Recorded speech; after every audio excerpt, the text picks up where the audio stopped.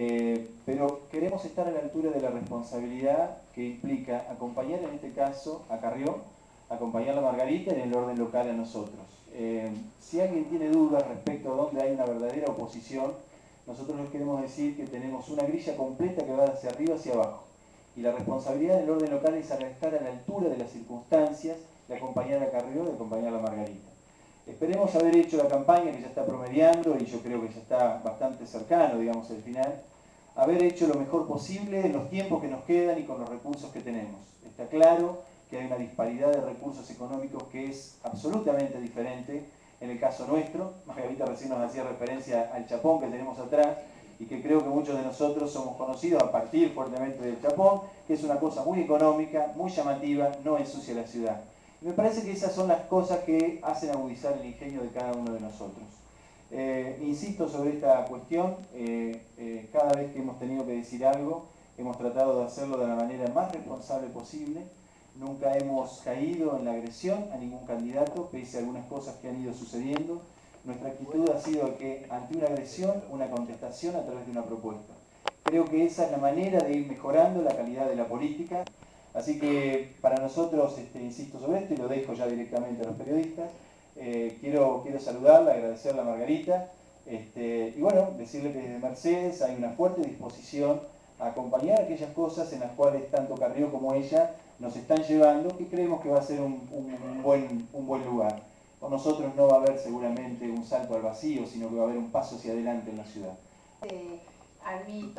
saben, quienes me conocen de hace mucho tiempo, que renuevo la alegría de venir a compartir aquí en Mercedes una vez más una actividad política como testimonio del compromiso militante que nos une desde hace muchísimos años a los militantes que están hoy aquí, por supuesto que eh, a Javier fundamentalmente, con quien nos conocemos y trabajamos de hace mucho tiempo, y a muchos otros con quien también hemos compartido militancia de mucho tiempo.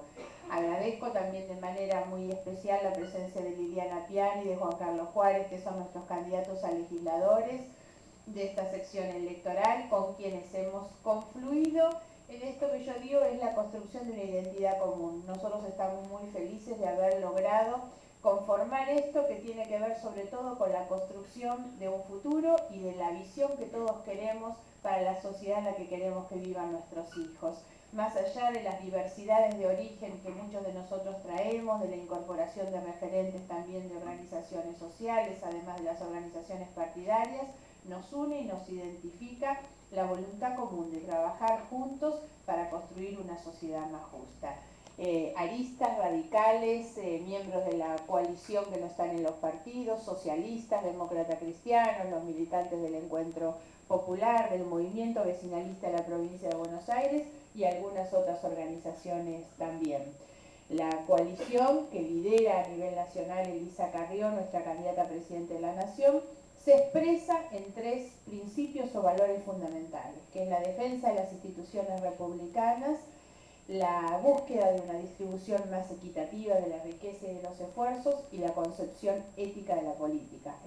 Quiero entonces simplemente con esto reiterarles a ustedes el agradecimiento, contesto las preguntas, después hacemos algún intercambio y por supuesto pedir las disculpas del caso por mi demora en la, en la llegada, además de el problema de mi auto que ya a esta altura de la campaña quiere basta y una cantidad de actividades, porque hoy hemos hecho durante todo el día, creo que es la quinta actividad en la que participo, esta campaña planchada intencionalmente por el gobierno, casi para que alguna gente ni advierta que hay campaña, nos obliga a nosotros a un sobreesfuerzo. Multiplicamos en pocos días en muchas actividades y bueno, esta ha sido también la razón de mi demora, así que me disculpo y sin eso entremos nomás a las preguntas.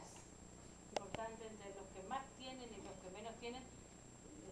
económico, educativo, en fin. Alguna medida sobresaliente que ustedes ya tengan en mente. Claro, pero es que esto la primera cuestión es que no es cierto, porque la provincia de Buenos Aires no tiene un problema de falta de recursos, tiene un problema de muy mala administración y distribución de esos recursos y la falta de una autoridad política que reclame a la nación por los recursos que la nación literalmente le roba a la provincia de Buenos Aires sin necesidad de modificar nada ni de reclamar una modificación de los porcentajes que la provincia recibe, solamente con que se cumpla la actual ley de coparticipación que establece un piso de distribución, la Nación le debe a la provincia solo por el 2006 3.600 millones de pesos.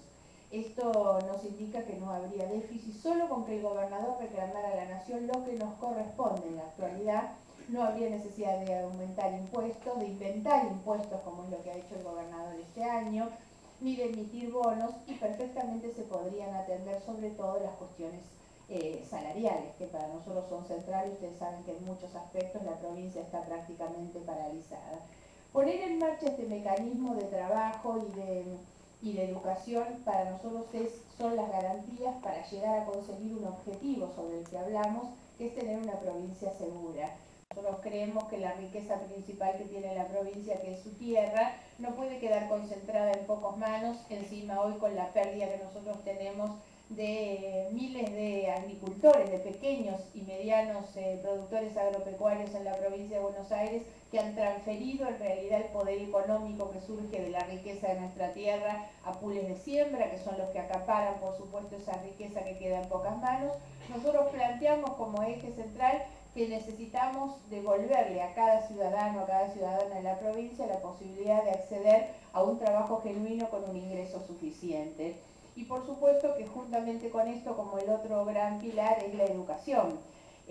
la garantía de un acceso universal a la educación y algo que nosotros llamamos una marca de ciudadanía, que es que todos los chicos en esta provincia puedan llegar a la universidad. Que todos lleguen a la universidad tiene que ver con que la educación les asegure igualdad de oportunidades, pero que también les brinde los elementos materiales fundamentalmente para llegar a la universidad y les brinde los conocimientos necesarios para llegar. Hoy tenemos una educación que se ha ido depreciando tanto en términos de contenidos, porque no forma hoy a los jóvenes para asegurar su ingreso a la universidad. Esto se ve claramente con los fracasos de porcentajes altísimos de chicos que en su intento de ingresar terminan siendo frustrados y a veces ni siquiera vuelven a intentarlo.